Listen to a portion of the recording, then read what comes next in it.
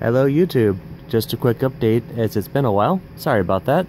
Things have changed a little bit. Got the new charge controller as I somehow screwed up the voltage sensor on the old one when moving cables around.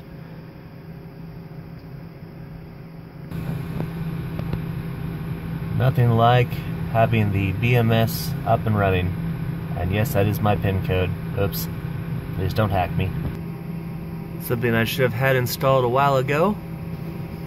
A little, I think it's Midnight Sun or Midnight Solar 30 amp DC breaker. So I can actually disconnect the solar safely. Nothing like the blinking lights of Longmons. Something that's not quite installed yet, little media converter for the fiber optic it's going to be connecting the power shed to the home network.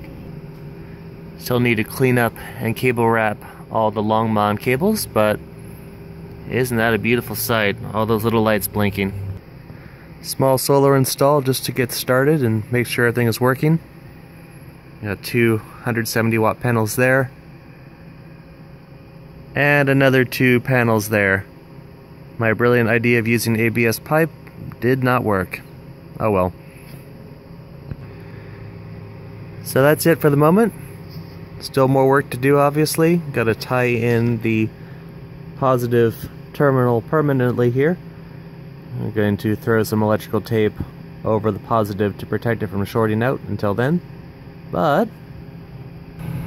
zoom in real quick here, even with the sun mostly away from the panels, still putting about 13 watts into the batteries, even though they're technically completely in the shade panels are, at least.